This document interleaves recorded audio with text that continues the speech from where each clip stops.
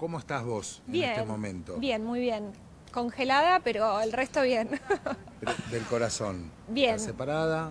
Pero ¿cómo? Le acabo de aclarar a tu, Sí. a tu colega, dejen de ponerme títulos, porque son títulos que O sea, no yo, estabas de novia, no estabas en pareja. yo nunca, claro, yo nunca aclaré, o sea, yo el año pasado terminé una relación de muchos años, muy importante, y nunca aclaré ninguna, ni di ningún otro titular. No hay nada, o sea, no hay nada que aclarar, ni para un lado ni para el otro, soy una persona Dejaron de Soy conocerse. una persona libre Sería- que, que tiene ganas de Sí. divertirse. Por ahora no me estoy divirtiendo. Ah. Les aclaro porque ya veo que Zaira se está divirtiendo. Iba o sea, a no. ¿las puertas de tu corazón están abiertas? No.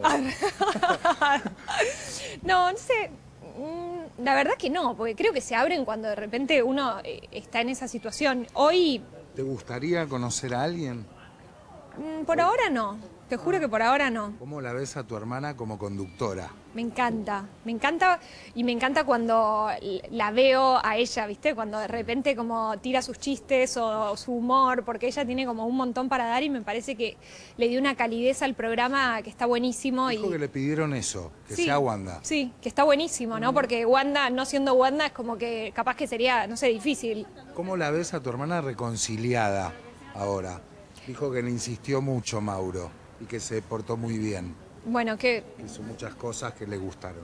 que bueno, a veces en, en las relaciones, eh, sobre todo las relaciones largas, hay que reinventarse, hay que volver a enamorarse, no es tan fácil, así que estoy muy feliz por ella. ¿Cómo está tu relación con Paula Chávez, que se había hablado mucho de una No, no sé qué se habló, pero la verdad que está como tiene que estar bien.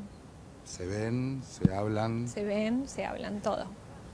Está bien. Sí, me la cruzo relación. casi todos los días porque vamos al mismo gimnasio, al mismo supermercado. Ah, entonces está bien. Sí, está bien.